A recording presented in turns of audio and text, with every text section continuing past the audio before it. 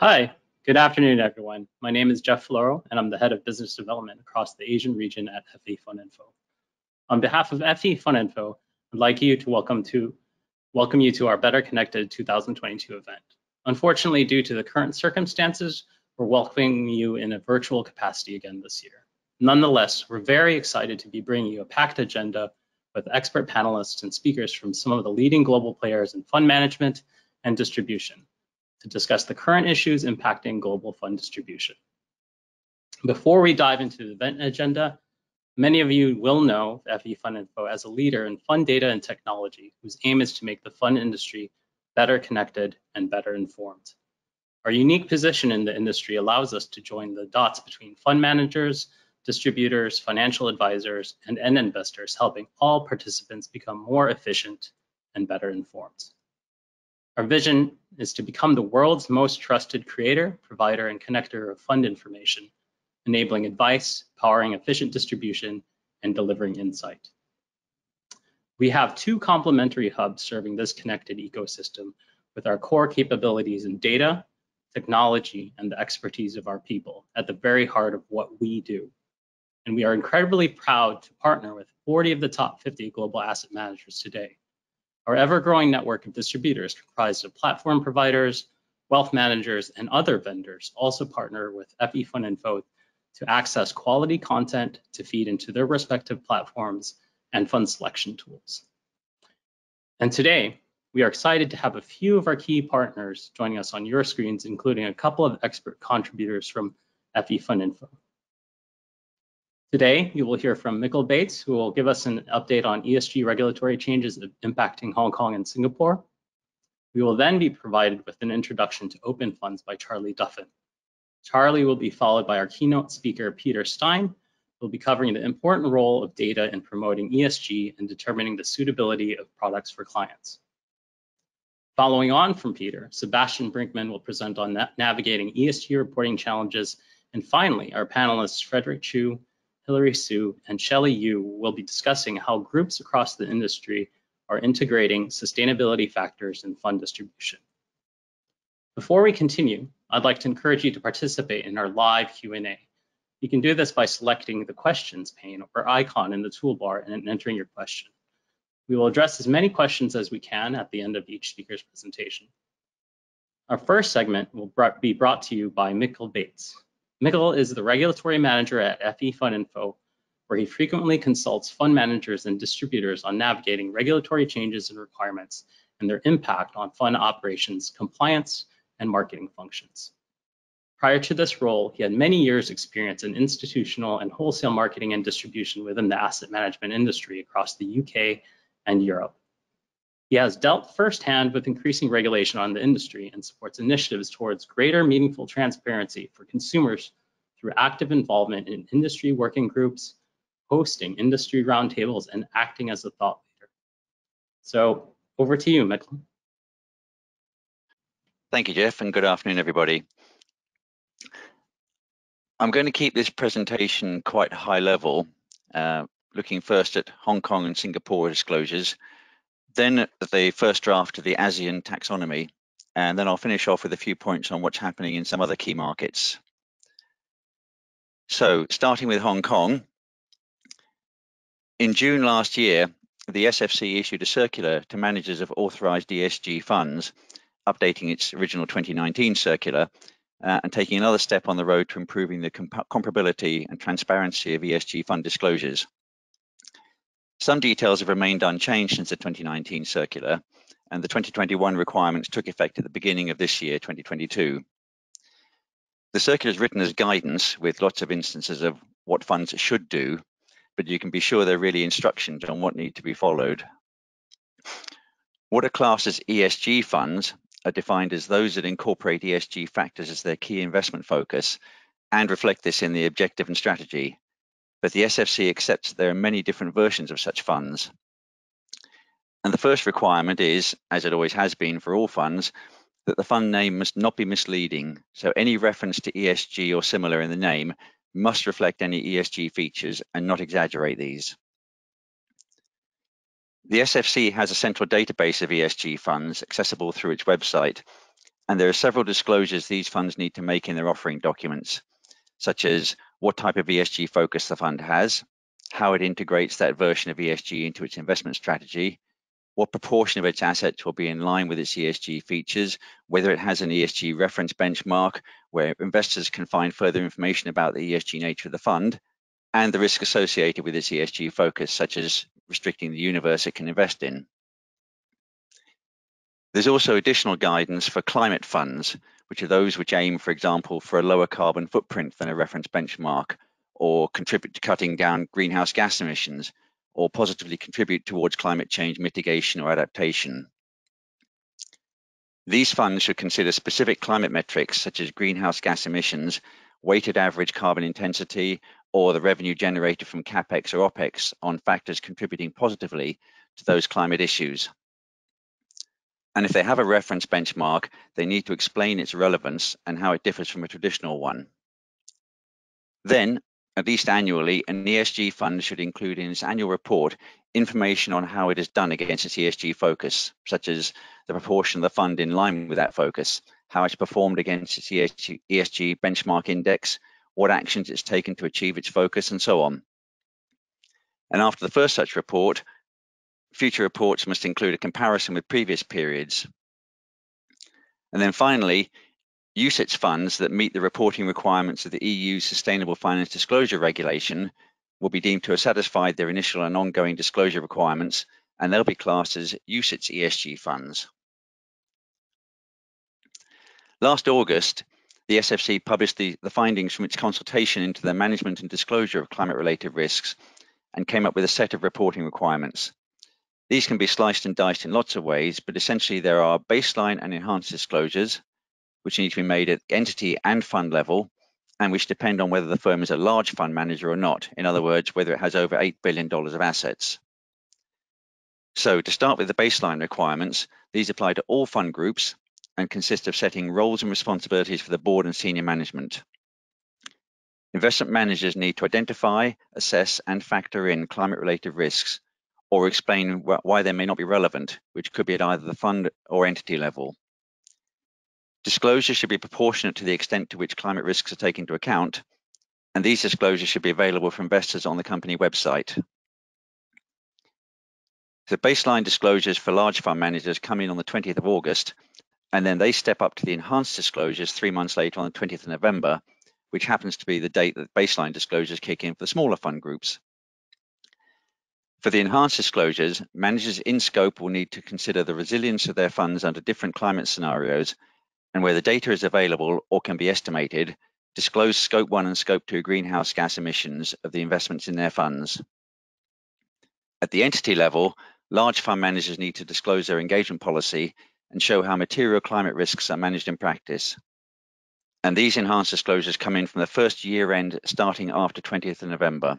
For, yeah, so moving now to Singapore, I'm going to focus on two documents issued by the Monetary Authority of Singapore. First, the guidelines for asset managers on environmental risk management, which is published in 2020. And in a moment, I'll talk about the information paper last, published last month. So the guidelines apply to both funds and mandates, and MAS makes several concessions for differences between scale, scope, and business model of managers and their portfolios. And they also make it clear that the guidelines are neither prescriptive nor exhaustive. While investee companies can both affect and be affected by the environment, the guidelines only apply to the financial and reputational impact of environmental risks on portfolios. MAS separates environmental risks into physical risks, such as the impact of weather events or rising sea levels on the ability of a company to continue to operate, and transition risks, the impact on a company's profitability and valuation of the transition, either by the company or its customers, to a low carbon economy. So the onus is being put on boards and senior management to identify environmental risks and opportunities over the short and long term and articulate the asset manager's approach for each asset class it manages, taking different risks into account when assessing the long-term sustainability of those asset classes and all appropriate to the nature, scale and complexity of the assets. Systems should be put in place to monitor the risks on an ongoing basis. Where these are material, reassessing the risks in the light of any developments, whether natural or legal, and making changes to the portfolio where necessary, or escalating any concerns through the company's escalation process. Asset managers should conduct scenario analysis where they deem the environmental risk to be material, incorporating physical and transition risks across a range of climate scenarios, not just different temperature conditions. There is also a section in the guidelines on stewardship with an emphasis on engagement, proxy voting and collaboration to drive positive change. Some of the topics suggested for engagement include raising environmental issues with investee companies, influencing them to better manage and mitigate environmental risk, supplementing the official risk disclosures issued by those investee companies, and encouraging them to provide relevant and timely environmental risk data.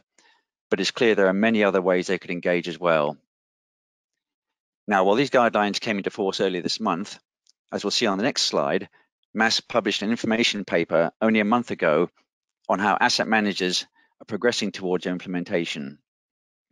As is the way pretty much the world over, they found good progress in some areas and other areas where there was room for improvement.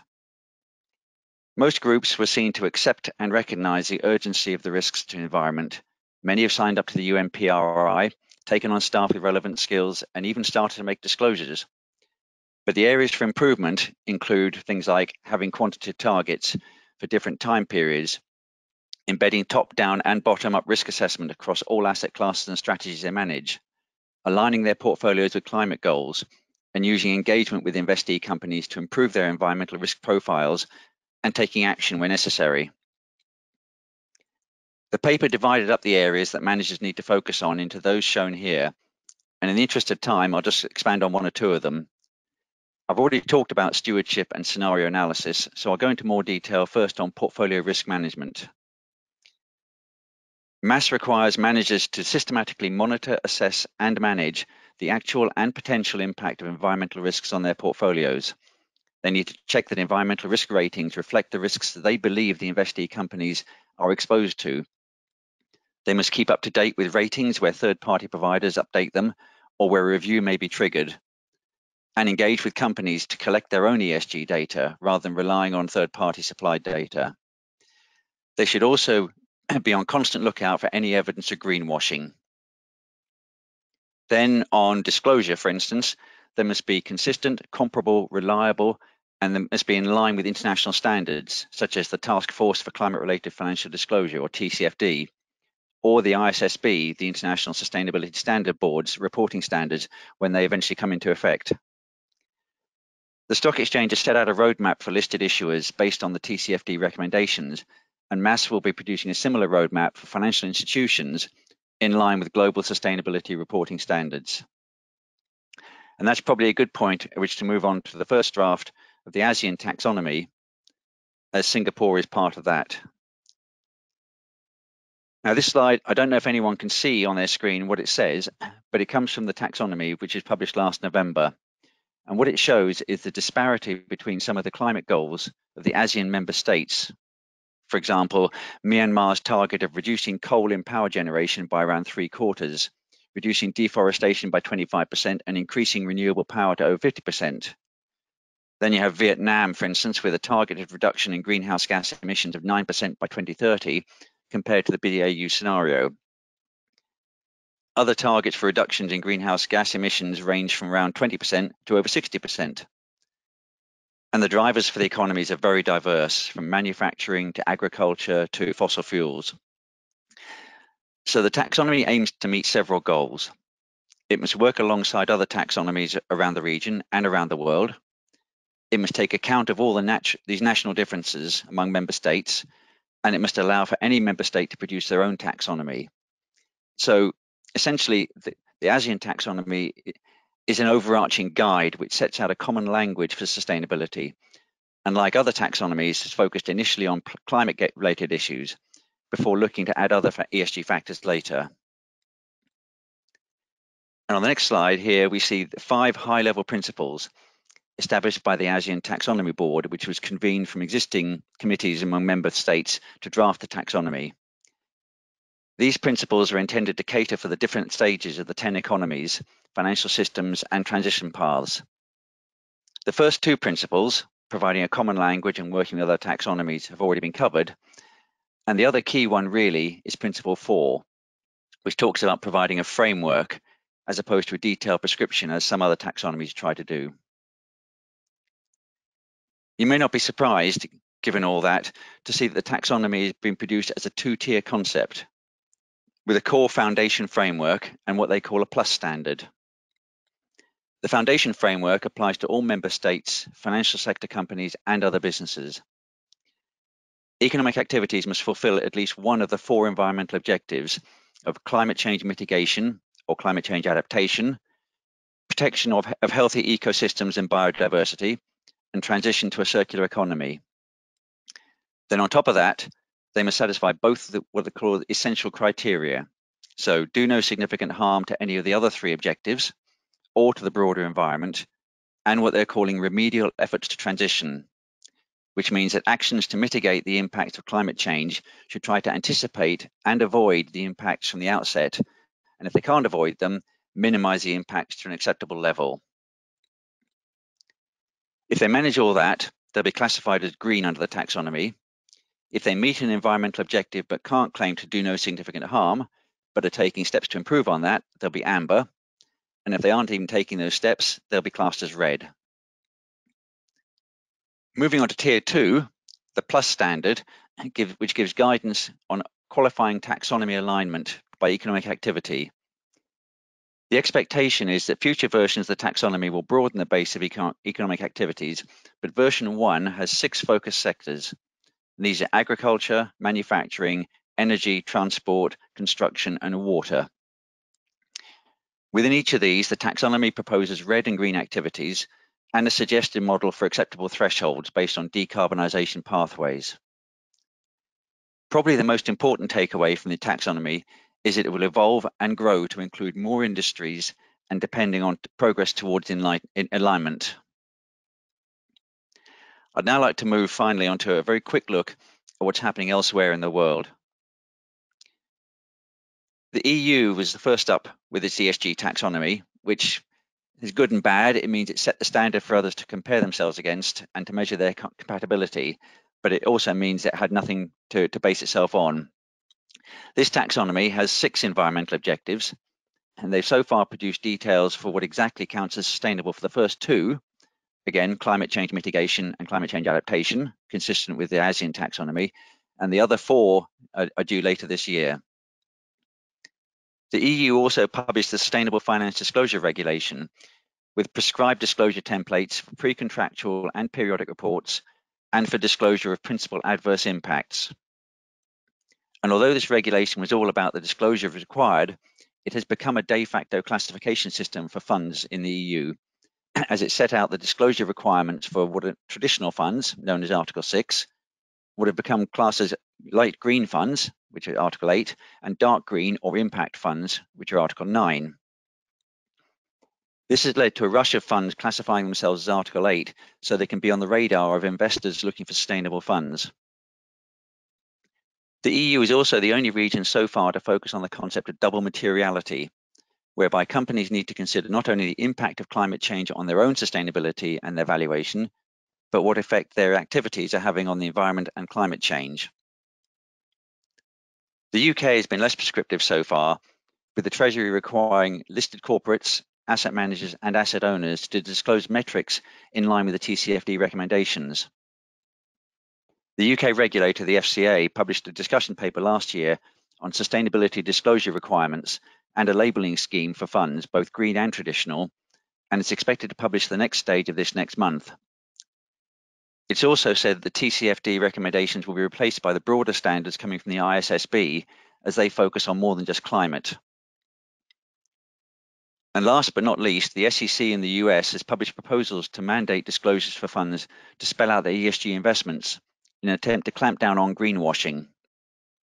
Like the SFDR, the disclosures would depend on whether the fund is categorized as an integration fund with little involvement in ESG, ESG focused, relying on one or more ESG factors, or impact designed to achieve a specific ESG goal. So again, three stages of, of ESG rating. This has been complicated recently by the fact that states starting with West Virginia have started blacklisting asset managers that actively boycott fossil fuel companies with state level anti ESG investing laws. And 24 US state attorneys have written to the SEC demanding that it halts work on its climate disclosure rules as they claim the SEC is overstepping its authority with what they call an ill-advised misadventure into environmental regulation. And on that little bombshell, I'll hand you back to Jeff to continue with the conference. Thank you.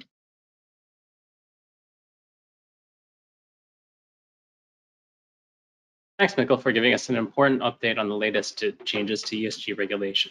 So up next, we have Charlie Duffin, who will give us an overview of open funds.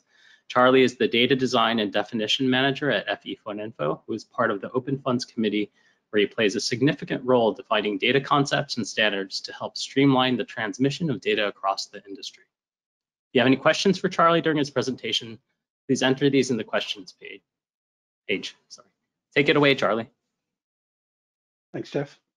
Uh, as Jeff said, I'll be going over a brief introduction to open funds, um, but keeping it much like Mikkel's very high level. Uh, so anyone who's familiar with open funds already should know most of this. Um, and as Jeff says, if you have any more in-depth questions, please feel free to ask. Uh, so we'll be starting with what open funds is, moving into some more details of, of how it works, uh, and then ending with some recent developments. So for anyone not already familiar, open funds is a data standard um, it does not hold data, it does not import data or distribute data, it just acts as a dictionary of terms. Uh, it's open source, so anyone can use it without paying for the standard or anything like that. Uh, and its aim is just to standardize the uh, data terms we all use in the fund industry. It's primarily driven by fund distributors um, who are who for whom it's uh, vital to have everyone speaking the same language when it comes to fund data. Uh, it's an association of members. It is not driven by any one single member. It is a committee of people all working together to achieve the same aim. Uh, and the, the most key thing about Open Funds is its Open Funds identifier. Any more information on this, uh, and if you do want to contact me after the uh, session, uh, can be found on openfunds.org and there's also contact details there. So broadly speaking, how Open Funds works is just a large set of fields that are all published in a field list on our website. Uh, each of these fields has a unique number and a definition uh, and codification for the field.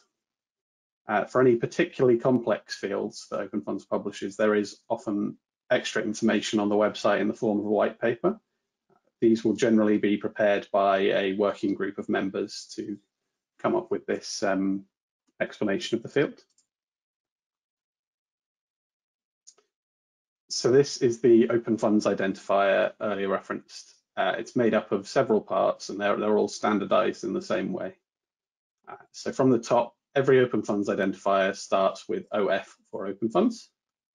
It's then followed by two letters denoting the type of data, broadly speaking, that the, uh, the data field entails. So we have static, dynamic, uh, recently introduced portfolio holdings data for full portfolio holdings.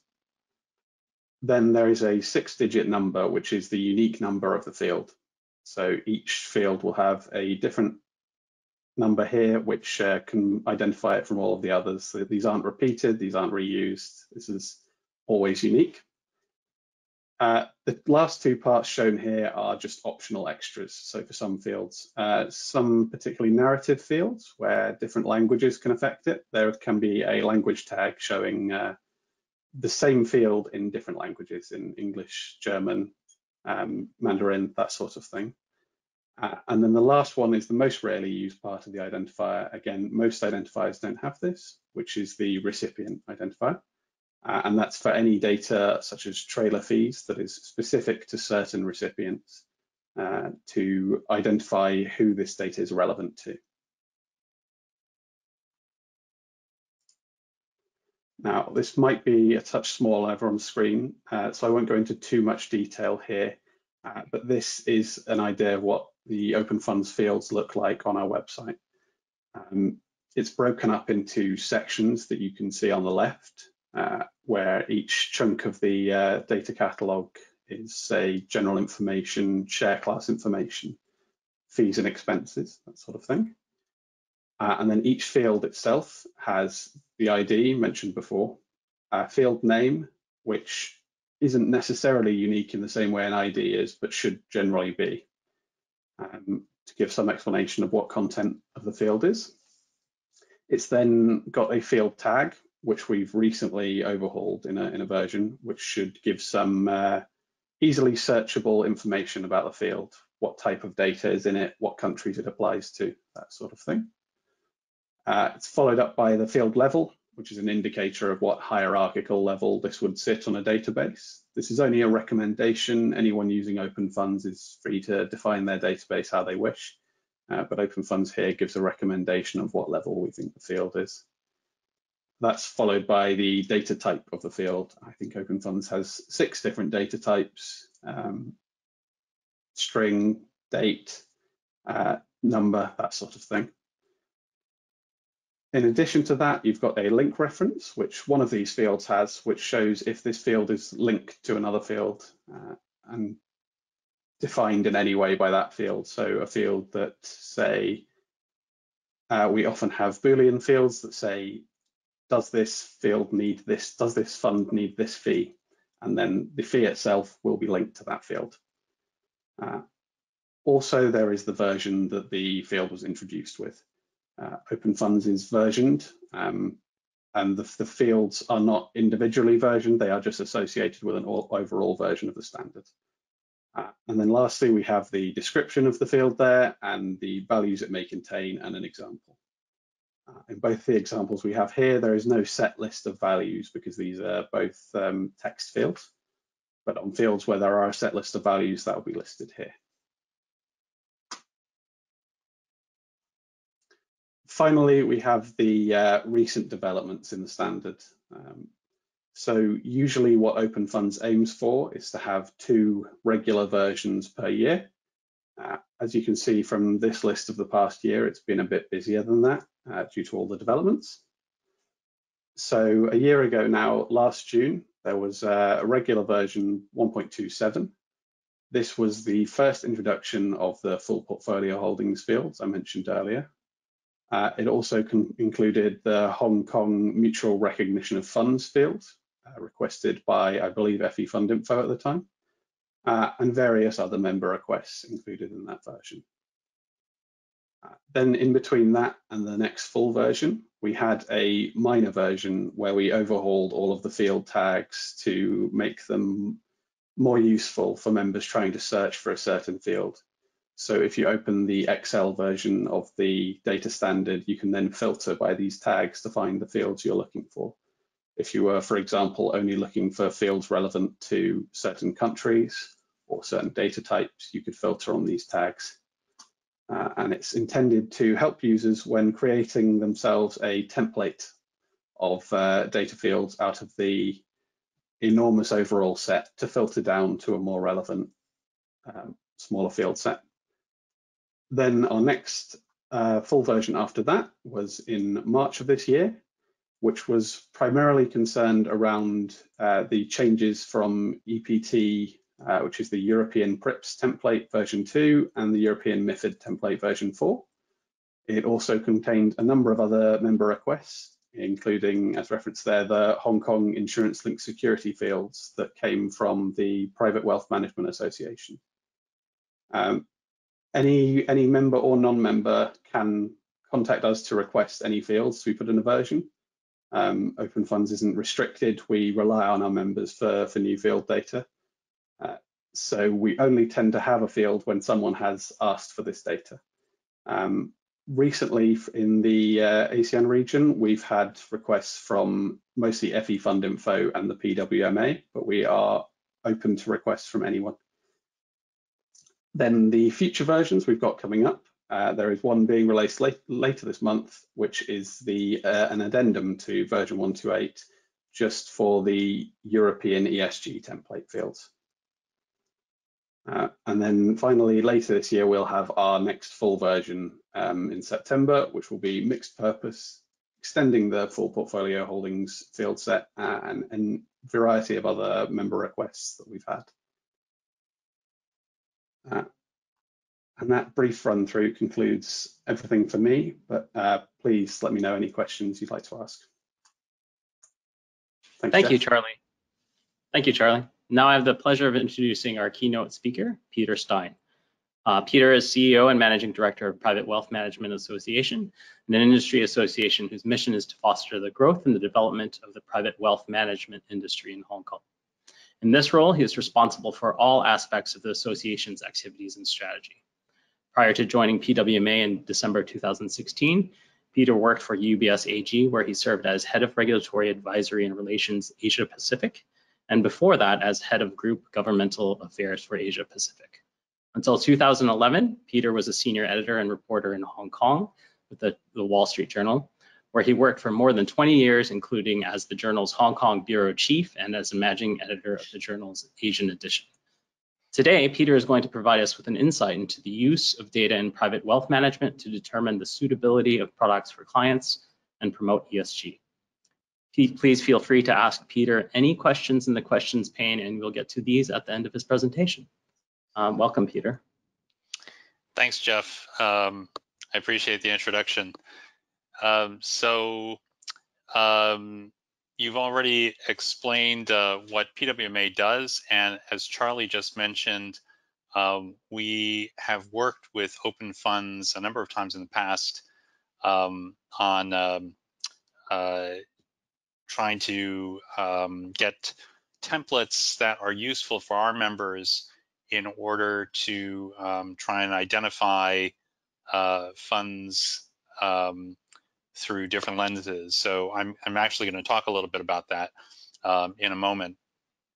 Uh, I will talk about several use cases for data in the uh, in the world of private wealth management, and I'm going to focus in particular on uh, two areas: suitability and ESG. Um, first slide, please. So among uh, our main responsibilities as an industry association is to engage with um, Hong Kong regulators in particular regarding topics that uh, impact our members.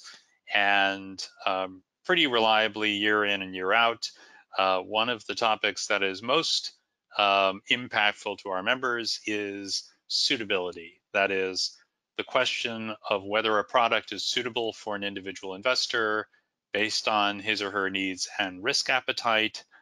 Um, and uh, this is something in in um, the private wealth management area is um, is of, of uh, top concern for regulators and uh, and always impactful for um, for private wealth managers in 2019, in October, uh, the Securities and Futures Commission issued um, new rules around trading in um, so-called complex products.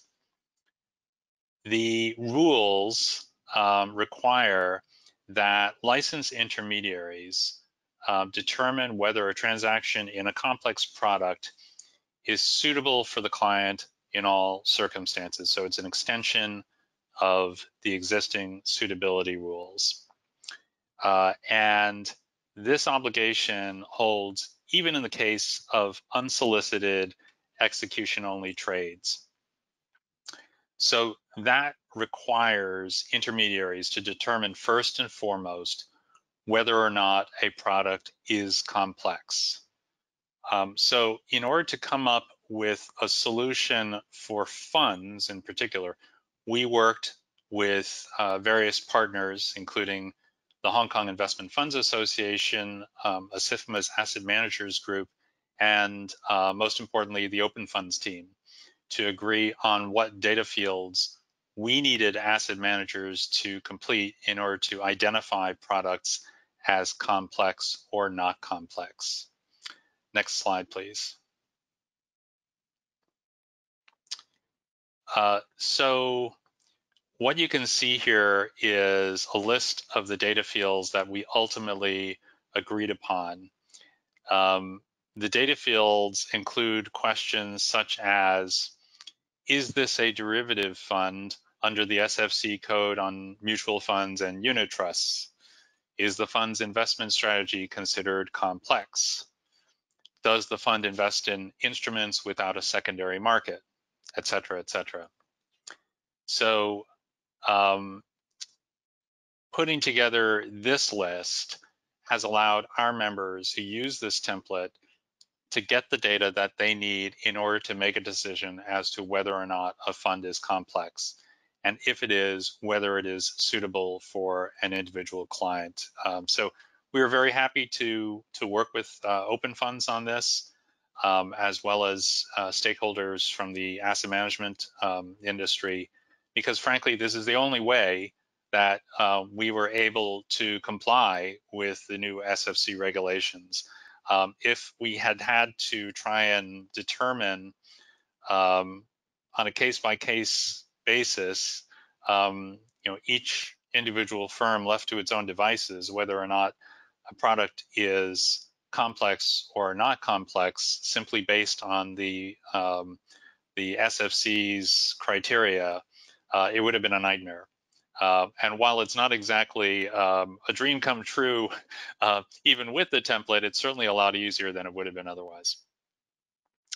Um, next slide, please.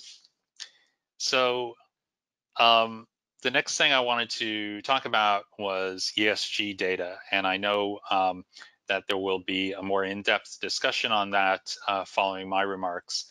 Um, I will um, focus primarily on just um, uh, a few things. You know, one, the fact that um, there is an increasing interest in ESG investments uh, among private wealth managers and um, among their clients. And you can see that um, from the data on this slide, which um, are all um, from last year's PWMA Private Wealth Management Report. Uh, what you can see here is that 47% of clients who were surveyed for the report reported that they would like to see more than 10% of their portfolios invested in ESG. And of those, nearly half would like to see more than 20% of their portfolios invested in ESG. And meanwhile, among the member firms who were surveyed for this report, um, only about 6% of AUM has more than 10% of their portfolios invested in ESG, but that percentage is expected to rise to 72% in five years' time. And that means that clients and their investment advisors are increasingly dependent on data in order to help identify new sustainable investments for their portfolios and to use as a lens in order to scrutinize the sustainability of their existing portfolios. So uh, what kind of data are they using? Next slide, please. So this slide breaks down the data types into two broad categories, core data types and emerging data types. Core data types um, include quantitative reported data such as total carbon emissions, employee turnover, size of the board, etc. And uh, this data is often normalized to make the data more easily comparable. Uh, for instance, establishing carbon intensity per unit of revenue. Another core data type is reported policies and programs, such as energy management programs, responsible mining policies, or board independence. These can be assessed uh, on either a linear basis, in other words, does this policy, uh, policy exist or does it not exist, or on a graded basis, how does it compare to peers? And then um, another core data type is controversies, such as past lawsuits or penalties related to ESG, which are usually graded by degree of severity. But in addition to these core data types, there's also um, other data types, which, um, for lack of a better term, we'll refer to as emerging data types. And those include um, uh, things such as alternative data that can be mined with artificial intelligence, such as ESG related mentions in news media or social media. Um, and it should be noted that there really are no established norms for rating this sort of data. Um, another type of emerging data is projected data such as climate risk data, which is combined with climate models and geospatial data. And again, no norms exist. But that data is gaining in importance due to both investor and consumer demand, uh, as well as regulatory pressure. Next slide, please. Um, so, um, and I and I don't think this is a controversial comment, but there are big challenges with using ESG data. Um, among them are uh, the lack of common taxonomies. Um, and you heard from Mikkel earlier uh, about the numerous um, tax taxonomies um, and levels of taxonomies that you have um, in Asia, in uh, Europe, um, and in the US. Um, the problem is that uh, they do not always match with each other. There are fundamental differences um, that can exist between these taxonomies, for instance, whether they cover um, climate change, um, environmental risks more widely, or the full set of ESG factors, including um, governance and social issues. Um, for example, the UN Sustainable Development Goals, uh, the recommendations of the Task Force on Climate-Related Financial Disclosures, um, the EU Taxonomy Regulation, um, and the US SASB framework all focus on different aspects of ESG. Another challenge is historical data um, that is often provided in ESG databases is by its nature backward looking. Um, so it doesn't necessarily tell you anything definitive about a firm's ESG policies and what the data might look like in the future. Um, and uh, you know, another challenge is that projections are always based on assumptions. So when you try to incorporate projections into your calculations, you're faced with the challenge that projections um, are only as reliable as the assumptions uh, that they're based on. So for instance, is it right to assume that a company will meet its stated carbon emissions goals um, and that its progress towards those goals will be linear? Um, and lastly, one cannot assume that reported data is always reliable.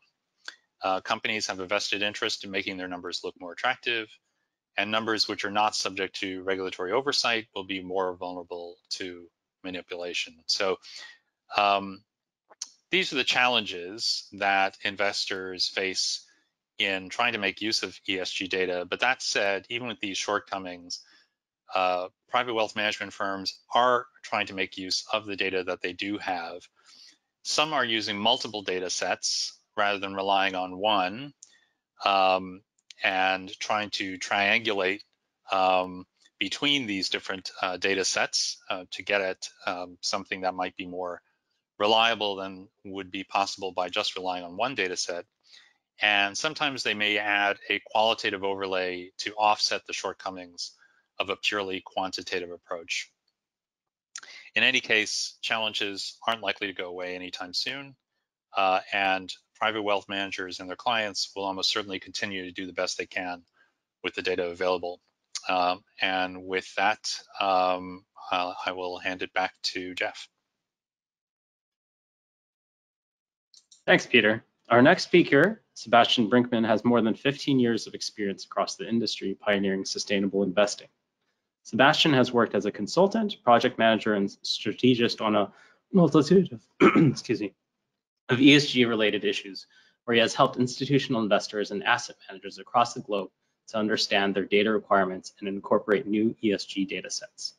He joined FE fundinfo from Truvalue Labs, where he held the position of head of ESG solutions for Europe at the San Francisco headquartered ESG data specialist.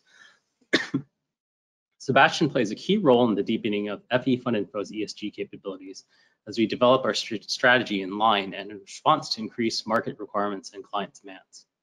Sebastian works with both new and existing clients to support the development of their ESG approach and address the integration and fulfillment of the associated client and regulatory reporting. Again, please submit any questions during the segment in this questions pane, and it's over to you, Sebastian. Good afternoon, and thank you very, very much uh, for having me and giving me an opportunity to, to speak what's a very, very important topic.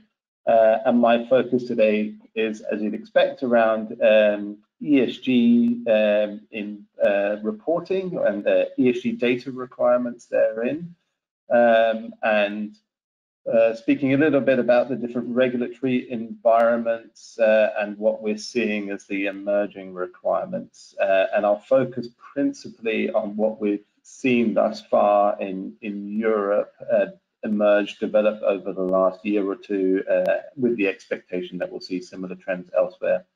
Um, so I'll, I'll um, just set this up by saying that we've basically starting from zero in many regards when it comes to ESG reporting. Yes, there has been some ESG reporting at an institutional level, and by ESG reporting, I'm referring to here ESG reporting at a portfolio level or at a fund level, uh, not necessarily an entity level, not necessarily a a, a, glossy ESG report um, or CSR report, but really producing uh, annual key performance indicators uh, for a fund or a portfolio. That hasn't necessarily been something that we've seen too much in the past. We at FE fundinfo have been doing this for a long time, for over 10 years, working with third-party data providers to provide such uh, portfolio fund level reports for institutional clients uh, but it's not something that's been prescribed, and that's the change uh, that we're seeing now. So we um, click forward in this slide, and we've talked about it already, uh, particularly with Mikkel giving us an excellent overview of the introduction of a variety of different regulatory frameworks. Uh, which have different levels of prescriptiveness in terms of what is expected to be reported. And all of these are essentially coming on stream in the next couple of years, starting in Europe uh, with SFDR and the EU taxonomy reporting and various pieces that go go together with it. And we'll see following on uh, quickly in the UK as well, uh, and then spreading out regionally. And as mentioned, some of these frameworks are more prescriptive than others, and I'm actually going to focus on on the EU um, uh, regulations as they are the most prescriptive and perhaps have the most impact uh, in terms of developing trends of what we will expect to see from an ESG reporting perspective in the coming years.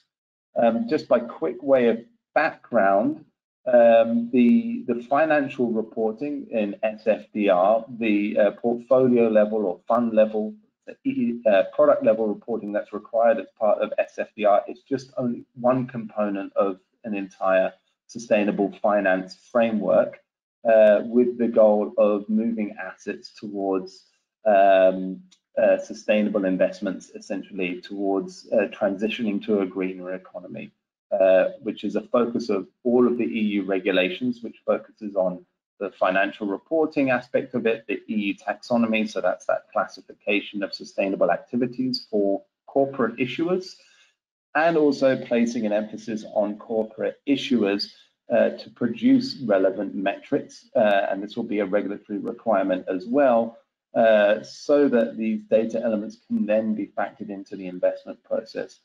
The only um, slight difficulty, that being an understatement, is the sequencing of these various regulations uh, with the requirement on the corporate issues to produce this data in Europe actually lagging the requirement of the financial market participants to produce the uh, sustainability information on their portfolios, which presents itself in data challenges, um, uh, which Peter has spoken to already, and that will persist um, in Europe, and then of course elsewhere where we don't have those uh, um, those requirements on corporate issuers at this moment. Um, nonetheless, I will move on to the next slide. Uh, SFDR is a very, very important and huge step uh, in terms of the level of transparency and disclosure around the ESG characteristics of a portfolio. Um, and I'm talking about it really just to highlight uh, the different data elements that one will see and one will come to expect to see elsewhere, uh, the different ESG data elements and key performance indicators that you could expect to see at a portfolio uh, at a product level. Uh, and this will this will range from setting forth uh, the methodology and the key targets within a fund and a portfolio that you'll expect to see in pre-contractual uh, disclosures through to then very, very granular key performance indicators uh, in the periodic reports. Uh, so on an annual basis, be a fund that is targeting certain sustainable development goals or a certain um, uh, carbon emissions threshold, uh, a certain warming scenario, um, if it's targeting certain uh, investments that are EU taxonomy aligned, these will all be data elements that need to be clearly reported on on an annual basis.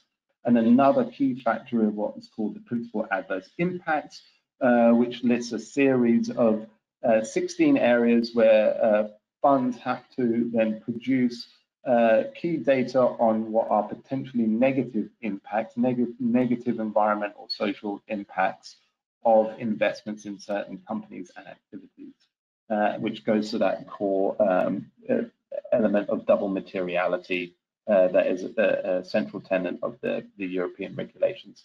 So this is just to emphasize the level of granularity of ESG data that is now uh, beginning to flow through into fund level, portfolio level disclosures in Europe. Uh, and these also for global portfolios. We're seeing um, US managers, uh, Asian managers that are marketing funds in Europe now also developing these disclosures uh, as required for anything that is marketed, distributed in Europe. Um, that, so that's one piece of the SFDR disclosures that flow through in, uh, as I've mentioned, in pre-contractual and periodic reports, which are essentially in fund prospectuses and fund annual reports. Another key element is how is this data actually getting through to the hands of distributors? And if we go to the next slide, I want to touch upon briefly something that's called the European ESG template, um, which is essentially uh, an electronic version. It's a spreadsheet version of SFDR. It is an attempt by the industry to capture all of those data elements that I've just mentioned uh, through the, the, the run through of SFDR within a spreadsheet format. And the purpose of this is really uh, to facilitate the entry of this data uh, into um, uh, uh fund selection databases at the distributor level. Um, and so that distributors can meet their requirements as part of the other piece of European regulation, financial regulation, MIFID, which now requires all advisors to ascertain the sustainability preferences of their clients. Um, and so it's a, it's a huge undertaking um, to be able to capture all of these data elements within a spreadsheet and then to place that requirement on market participants to fill this out.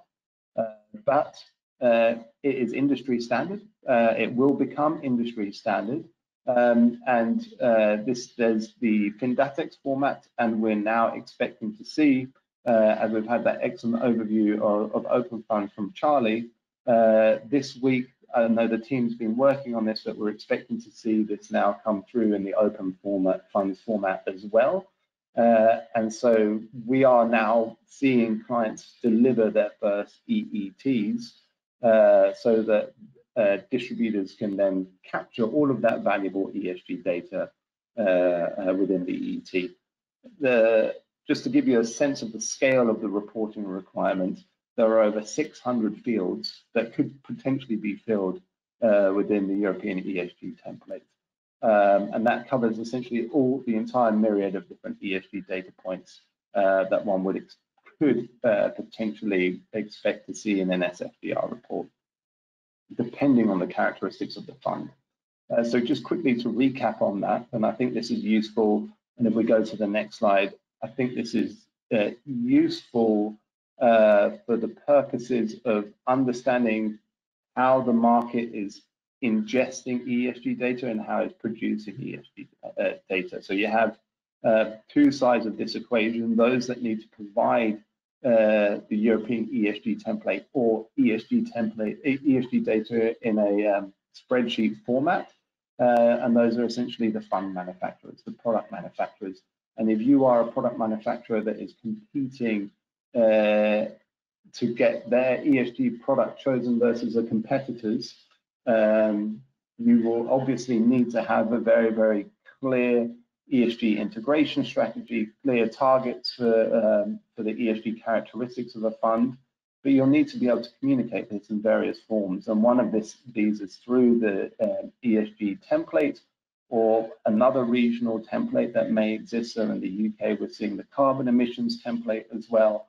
Um, so one can have the best uh, uh, thought through ESG policy strategy uh, fund with a long history, but if you're not able to communicate this uh, through the various different formats, including the European ESG template, in a, what is a very, very competitive marketplace for ESG funds as well, then you run the risk of your fund not being selected.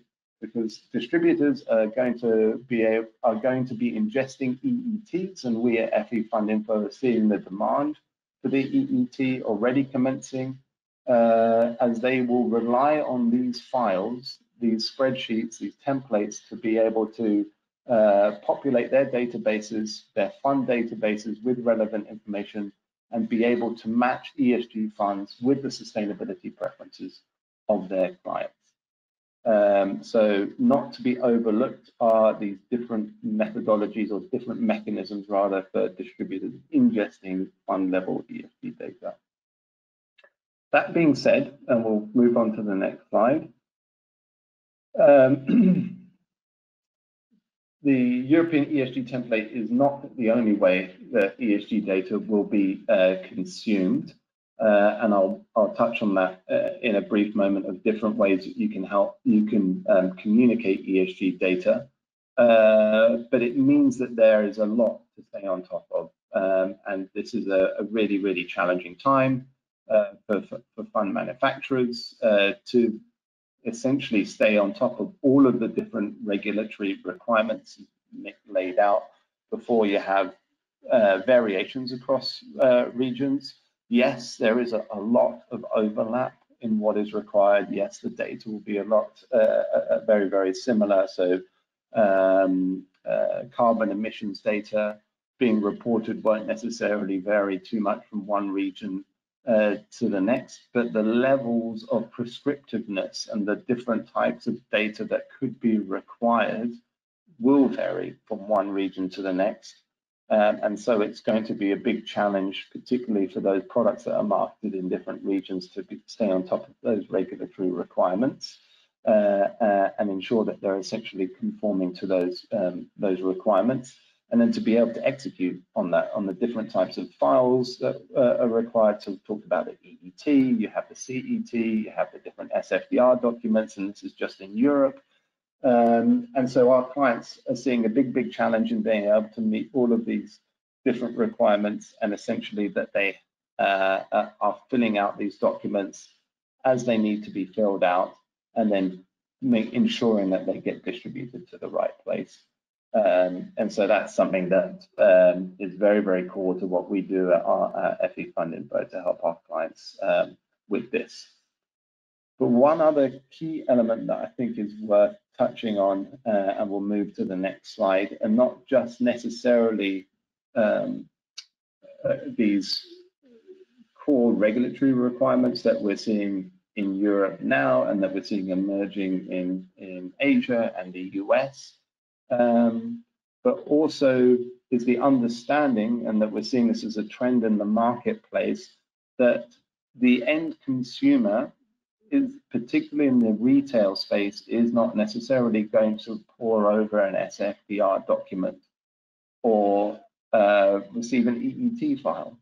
Uh, yes, the distributors, the advisors will rely on these uh, on these data points to be able to match funds or select funds, but in terms of investment literature that the end consumer is going to uh, read and the way it will consume ESG data, uh, will likely be in more traditional formats in terms of a fund fact sheet, for example, or perhaps a standalone ESG document. And we're definitely seeing that as a trend in the marketplace, particularly on the fund fact sheet side, where uh, funds will be appending a page or two pages of what they consider as the core ESG data elements uh, for that particular fund, for that particular group of stakeholders that they're targeting, um, so if a fund is targeting uh, a certain uh, emissions reduction scenario or trying to communicate it's not investing in certain negative activities such as cluster munitions or thermal coal or whatever it may be, or that it's targeting investments in the sustainable development goals, uh, that they want to be able to graphically represent that uh, in a standalone fact sheet or appended to a financial fact sheet. Um, so um, we're definitely seeing that as a trend, but that also brings with it a certain degree of, of risk uh, around aligning those disclosures according to the regulatory disclosure requirements as well. Uh, so if you're in Europe and you're producing your SFDR documentation um, and you're producing now an ESG fact sheet, you'll obviously need to ensure that the data is the same from one report to the other, otherwise you're actually incurring some level of regulatory risk.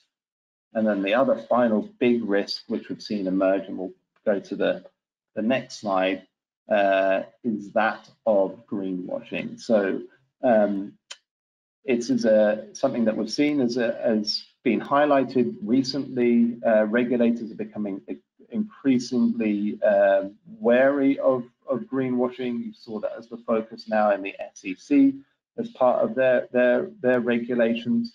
Uh, Mick touched upon it as well in terms of the Hong Kong regulations.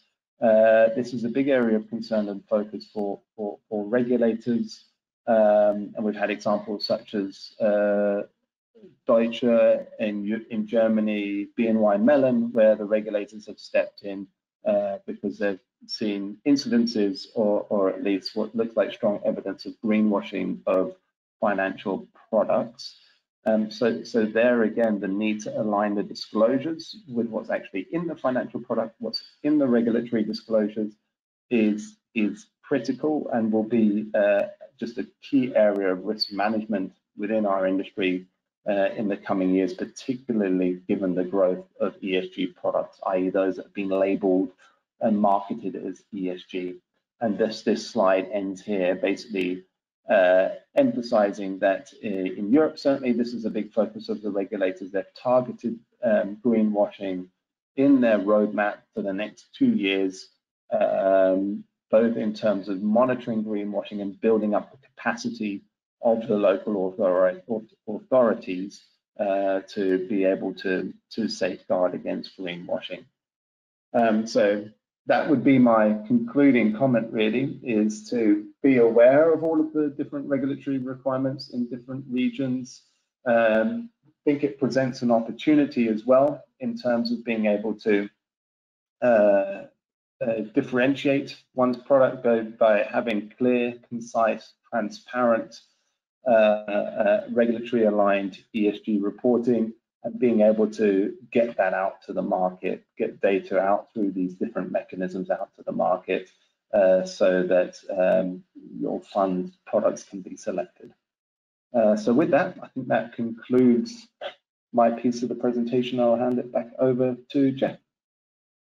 Thanks, Sebastian. That was the perfect segue to our panel discussion. Today, I'm pleased to have with me Frederick Chu.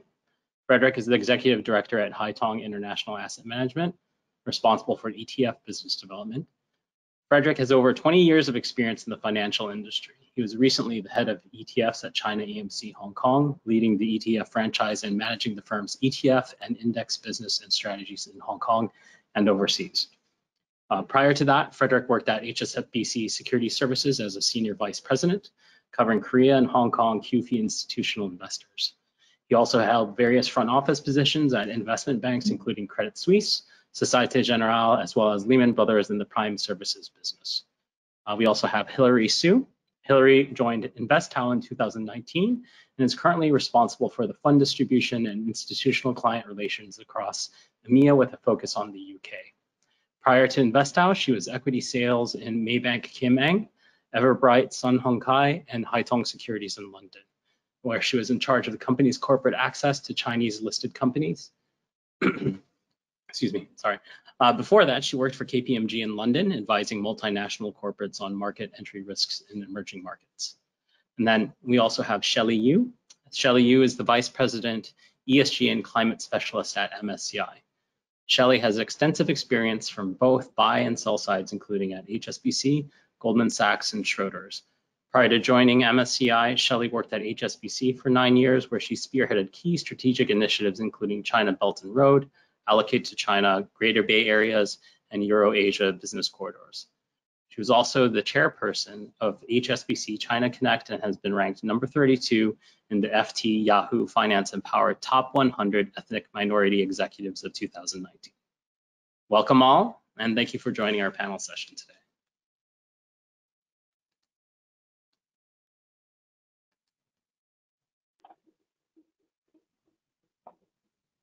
I'll first ask each panelist to give us a quick introduction on their companies and business, and then we'll jump into discussing the topic, how are groups integrating sustainability, sustainability factors in fund distribution? Uh, Frederick, uh, I'll start, Frederick, with, you. start with you. All right, thank you, Jeff. Thank you, Jeff. Uh, hi, uh, everyone. Hi, everyone. I'm Frederick. I'm Frederick. Uh, I cover uh, the ETF business here in Haitong. I appreciate your very detailed introduction of mine.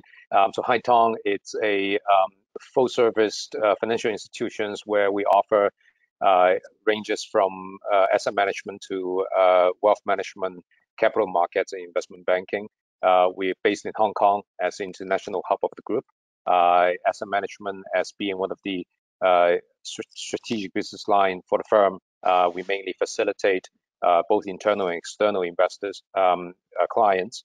on the ETF side, we have been on uh, we have been in this area for uh, quite some years, uh, to be honest, uh, and uh, we think that uh, in this you know difficult market situation and um, and, and, and the trend in the in the investment industry, beta will be a very dominant space, and then it's it's you know always been a good time to deep dive into this. Thanks, Frederick. Hillary, can you make an introduction of yourself? Yeah, hi. It's a huge pleasure and privilege to be um, part of the panel and witness lots of really insightful and interesting discussion today. So my name is Hillary Su. I work for InvestHouse Limited. We are a cross-border um, distribution boutique based in London, Zurich, and Shanghai. Um, it's a very interesting time to be part of the distribution, fund distribution, and cross-border distribution industry, um, witnessing a lot of the you know, challenges, but also um, opportunities um, in, in the sector. Um, we work exclusively with the Chinese asset manager and European asset managers. So we have a, I'd like to think we have a very unique insight into how the fund landscape um, has been sort of shaping and reshaping um, across um, these two really important regions. So it's a, uh, you know, very, very, I, I think it's a privilege to be here today and have this conversation with you all. Thanks, Hillary. And Shelly, if you could uh, introduce yourself quickly. Uh, yes, sure. And uh, thank you very much, uh, Jeff, for uh, a great introduction already. so, uh, yes, uh, I um, I work in the climate and ESG climate coverage at MSCI and tasked for the responsibility of expanding our presence in Greater China with, you know, Uh, responding to the increasing demand uh, in the market. Uh, so uh, uh, very honored and pleased to be here today joining this great panel discussion. Thanks, Shelley. So now onto our topic today is integrating sustainability factors in fund distribution. This topic is obviously becoming increasingly important, and as we've heard today with the changes in reporting and disclosure requirements, it's an area of focus across the industry. So our first question is, what are the major trends in ESG and sustainable investing in APAC, EU, and the UK? And do you think harmonization across the different fund jurisdictions is possible in the future given different stages they are in in terms of understanding and implementation of ESG regulation? Um, I'll start off with you, Shelley. Uh, thank you. Uh, very interesting question.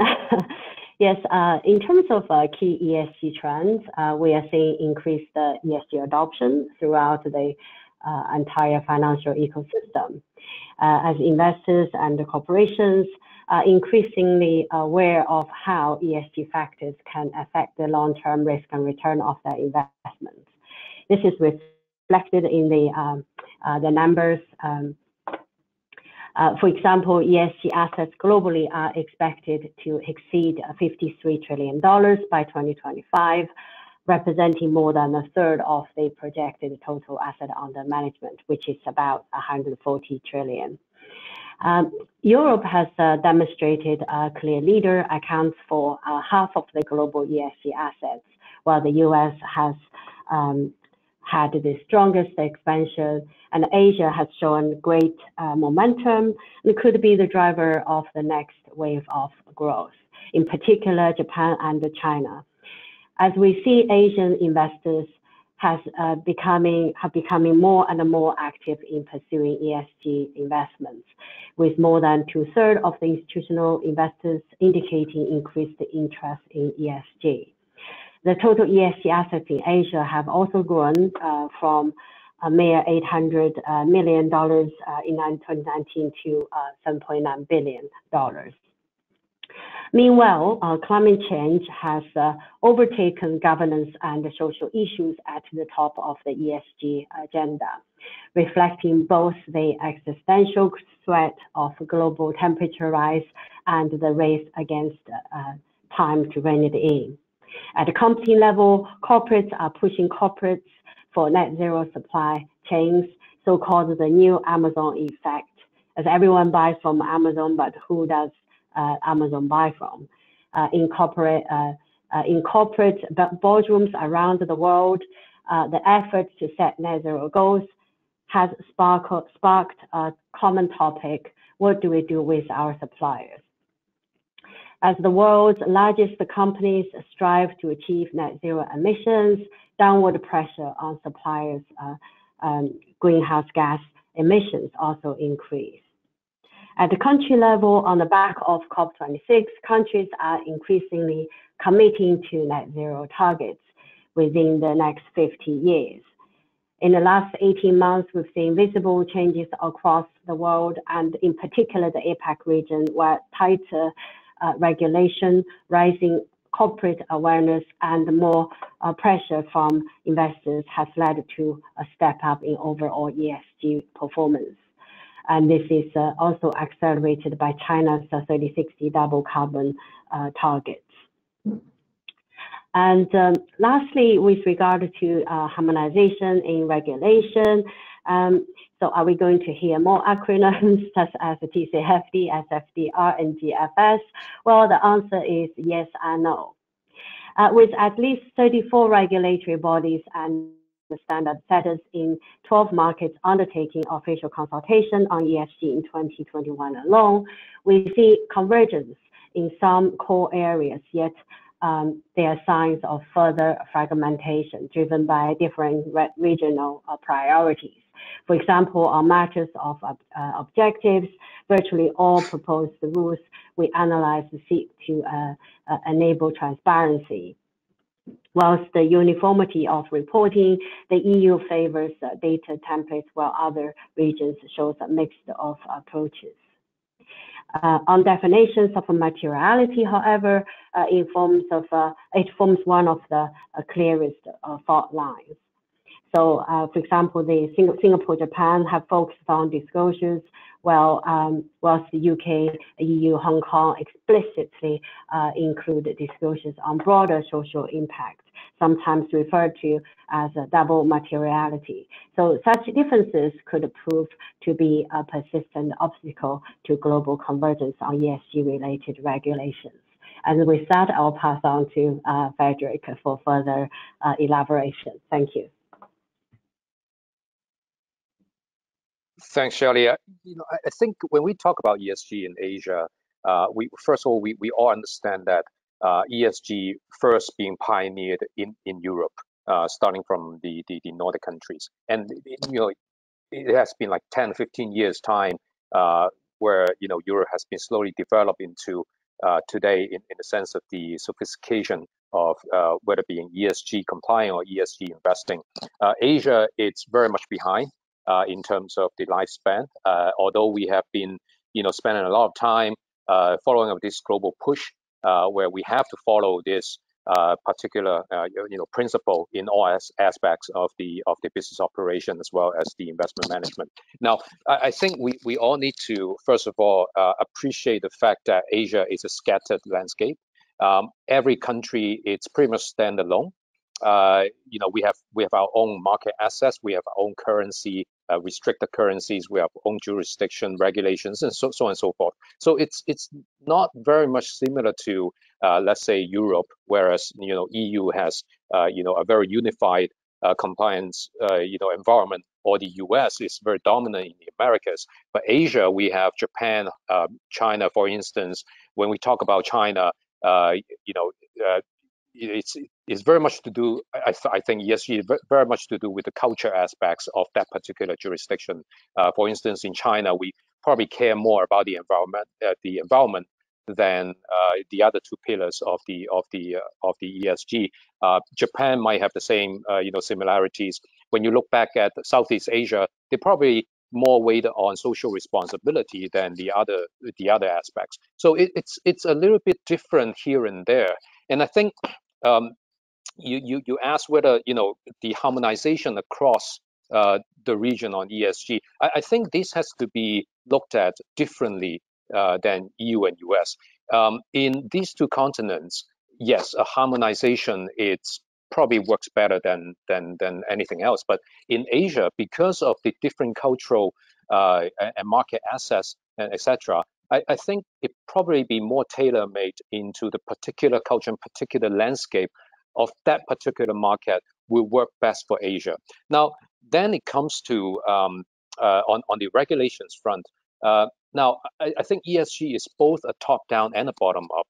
Top-down from the government level, they have to, you know, via, um, you know, uh, uh, uh penalizing investment uh, investment that are not being ESG, and then bottom up uh, from the from the investors aspect uh, to make them aware why they have to do impact investing and so on and so forth.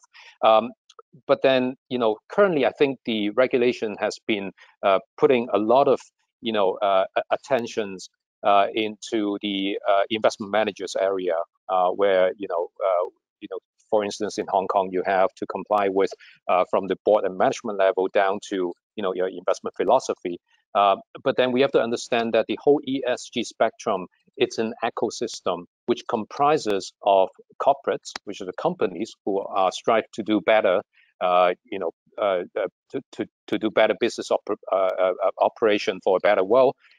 and then, you know, the, the regulators, how do they govern all, all, these business op operations and make sure make sure that they're, that they're walking the talks.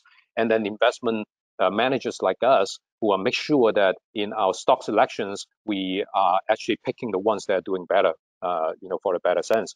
And then finally, the investors who are being made aware of why do they have to invest into the, you know, the the uh, the uh, uh, carbon neutral or the, any any any form of uh, of investment like that. So I don't think there's any uh, any one of these um, these particular peoples here uh, within the ecosystem can stand alone and say, I'm going to drive ESG and to make it successful. You know, it, it has to be a collective effort uh, when the whole market is, it's being aware of that. Um, I think the uh, the uh, uh, investment managers uh, are now facing um, you know various challenges or you know putting up a lot of efforts in complying with the regulations. But at the same time, I think there are a lot of different aspects we need to work out. Uh, for instance, uh, the data source that, that you need to make sure that you know you have enough information uh, with regards to uh, uh, the, your, your, portfolio of companies or the investment that you choose. Um, and you need to have uh, you know intelligence. You need, need to have talents who really understands on how to analyze all these data and how to uh, you know, make uh, uh, you know a precise judgments over over over um, all these all these selected companies, and then the investment managers who are actually dealing with two fronts. first of all, they have to make sure that the portfolio uh, you know, uh, up to a certain standard. But at the same time, uh, I don't think the investors will be willing to see the, a, a you know, a, a, big compromise in terms of the investment returns. So it, it's like I said, it's it's not about the how much the asset manager can do or you know how much the regulators can push, but it has to do with the entire uh, commu investment community uh, uh, in order you know in a collective effort. Thanks, Frederick. Um, Hillary, your thoughts on on the question I had? Um, yeah, sure. Um, I think Frederick has uh, already alluded to the genesis of uh, ESG in Europe. Um, so I think I want to take some time to share some um, data on inflows in ESG UK and Europe, because I wanted to highlight just the growth and potential of the industry. Um, the total sustainable assets in the UK right now is around 56 billion pounds. In last year alone, the inflow into sustainable assets were more than 37 billions it is quite significant because uh, well, when you realize that last year the net uh, market inflow to the whole of UK was already well, no, was only 27 billion. So, and um, in the year of COVID, so back in 2020, um, ESG funds in the UK were bringing in new client money on average 1 billion pounds per month. Um, that was the time when you know all of the investors suddenly realized that ESG um, does help you ring fence against risk um, during the kind of a black swan type of situation. Uh, right now, more than 40% of all fund industry sales in the UK are ESG fund units. Um, I don't have the Q2 data yet, but um, um, for Q1 this year, um, the ESG equity fund flows in the UK has reached a record high level again um, at 8 billion pounds. Um, this is investors taking um, money from uh, 10 billion pounds of a non-ESG equity position. Um, similar stories can also be said about the bond market, but on a much smaller scale. Um, Shelley has already mentioned about how Europe dominates the space, and absolutely, you know, it's the case. Um, Europe has the world's largest climate fund market with a total AUM um, just slightly over um, $320 billion. Um, in addition to very high inflows in continental Europe, the European market also leads the space in ESG fund development, um, product launching, and etc. Um, the introduction of uh, SFDR last year, of course, was a very important milestone in our industry. Because of that, investor must develop a better understanding of uh, climate profile, not just for the corporates you're invested in, but also the companies you're in, uh, the countries that you're invested in. But how we are doing, how, how we go about this um, is quite slightly different between the UK and the continental market. Um, the UK wants to champion uh, what they call principle-led ESG approach. So by that, we mean, you know, we want to see more thematic strategies, we want to see more principal investing, and hopefully there will be more outcome-oriented solutions as opposed to just comparing Sharpe ratios between funds and etc. Um, insofar, the European market still follows a, a regulation-led approach. Um, of course, that approach has its own distinctive advantage because you can drive up flow very easily. Um, the reporting standard has been covered by Sebastian and some of some of my other colleagues already, so I won't go into um, uh, uh, that. But I think based on my conversation with other industry um, uh, people, um, there's definitely going to be some kind of a, a reckoning um, in the future when it comes to reporting procedure. We're going to find a way to um, streamline the reporting procedure, just like how we you know streamlined accounting standards many years ago. So in the near future, I do I do I, I do feel like there is going to be more standardization in reporting, so that our industry can expect more um, sophistication, professionalism. So with that, I'll hand it over to Jeff. Thanks, thanks, Hillary. And uh, on to our next question uh, is, what do you think the biggest change in the fund landscape is going to be over the next five years? And how is it influencing fund distribution? Uh, we'll start with Frederick. And, and just to let you know, we only have about 10 minutes left for, for, for today's uh, webinar. So apologies that we uh, you know, have time constraints. Yeah, yeah, no problem. I, I think uh, we, we're going to see a more investors-driven market. Uh, uh, with that, what I'm saying is the the autonomy of the investors will becoming bigger and bigger. um, they will have a more decisive, you know, um, uh, power in terms of, you know, making their own investment decisions. Uh, you know, Peter talked about, you know, suitability. I, I, th I think there was a lot of reason uh, attributing to to what I to what I believe.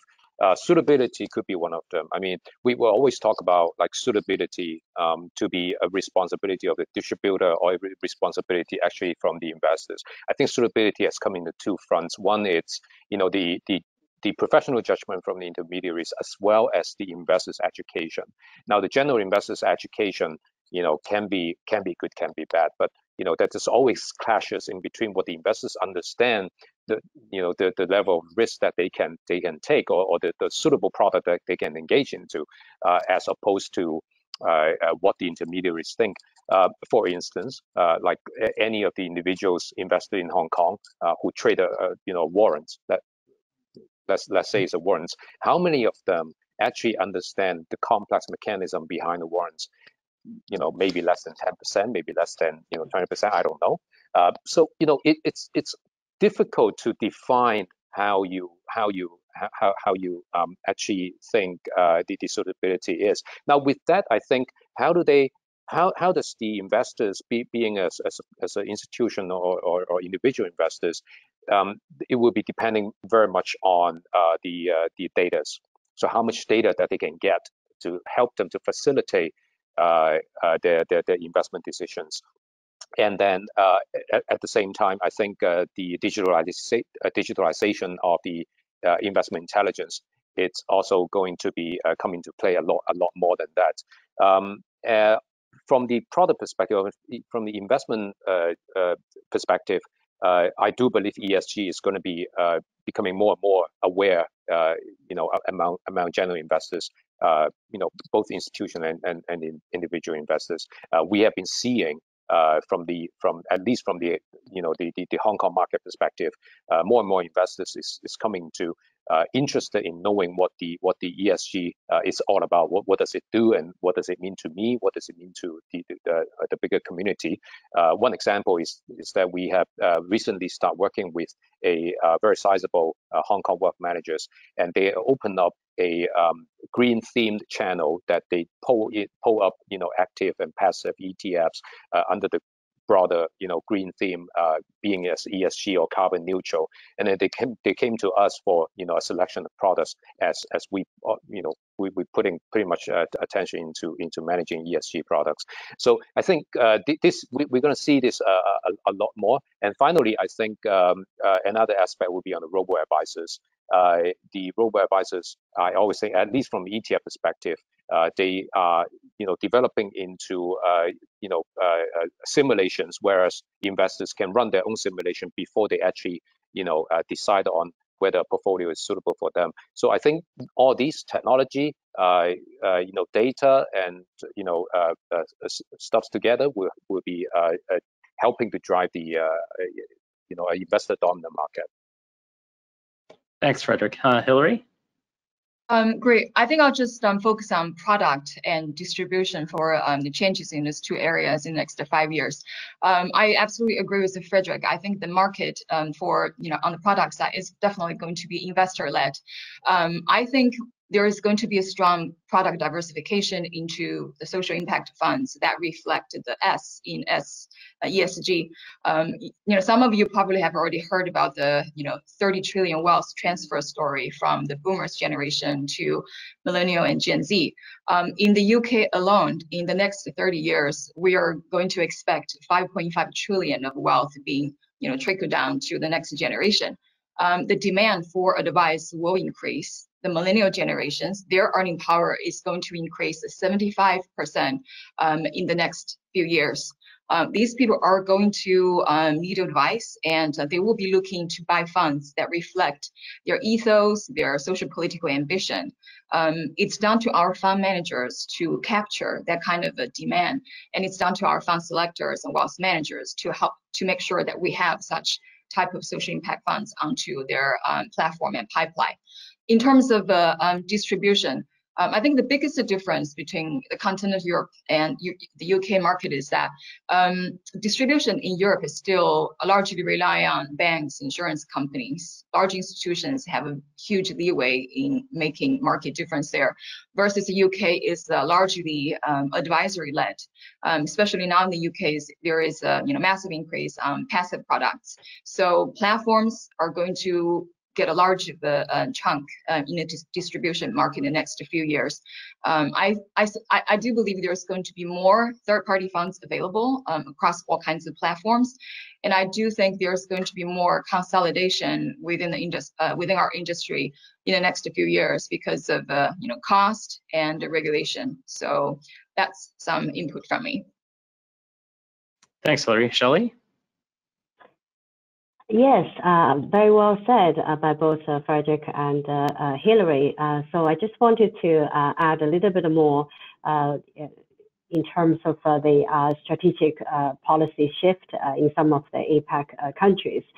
for example, in China, the policymakers are, you know, are aiming to tackle the emerging environmental and social issues.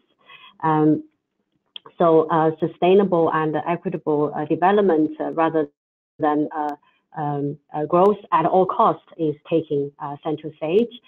the other theme that is transforming the fund industry landscape is the transition to to net zero, which obviously we already you know discussed quite a bit earlier. So in the interest of time, I will just move back to you, Jeff, for the, the final question.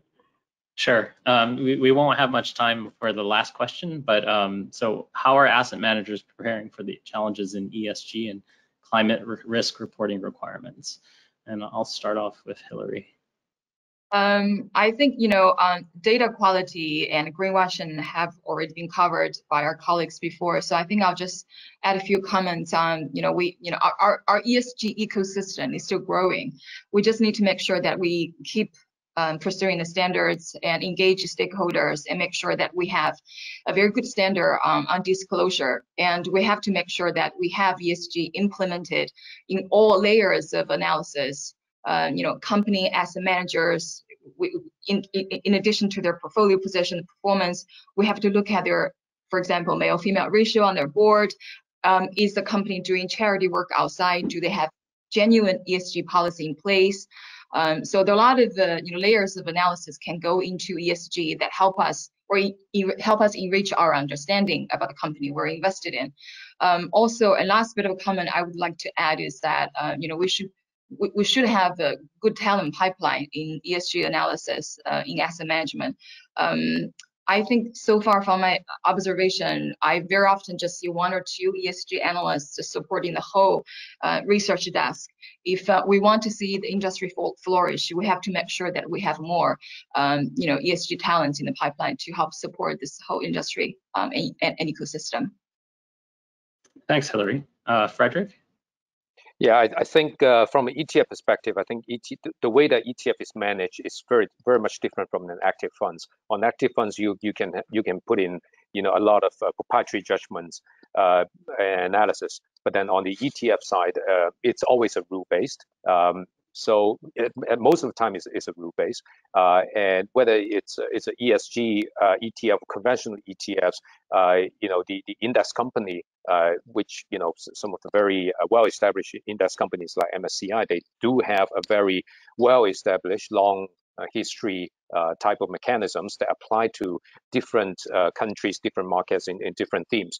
Um, so I think the fine tuning of the ESG components that make it integrated into a rule-based index type of uh, mechanism, it has to work more and more closely in between the issuer and the index providers, which means that the, the, the issuer will need to understand themselves what are they really a, you know engaging within the ESG aspect that they want to put into the rules. And on the other front, the index companies will also have to uh, you know probably give it a little bit a, a, little bit more leeway in terms of you know uh, tweaking the the the the, uh, the, data or the or the methodology uh, to make it a little bit more customized uh, in terms of the various aspects within within ESG.